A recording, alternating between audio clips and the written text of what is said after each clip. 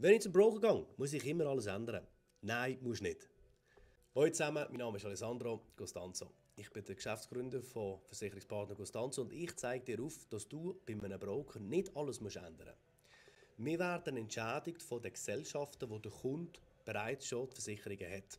Also zum Beispiel bist jetzt du äh, bei der Hausrat bei der Basler und bei der Auto bei der AXA und hast die Vorsorge bei der Zürich-Versicherung. Jetzt ist es so, wenn du nach dem Erstgespräch bei mir sagst, hey doch, Alessandro, ich will dir das alles übergeben, vielleicht wollen wir etwas ändern, vielleicht auch nicht, aber dann habe ich etwas von diesen Versicherungen, die du bereits schon hast.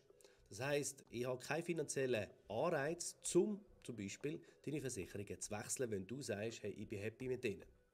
Mein Job ist es als Broker, grundsätzlich für dich da zu sein, wenn du Probleme hast, wenn du einen Schadenfall hast oder auch, wenn du willst, gerne mal eine Ausschreibung machen dass wir auf allen Versicherungen auf dem Schweizer Markt können zurückgreifen und dir das bestmögliche Angebot können präsentieren können. Also, wenn das Thema interessiert, melden.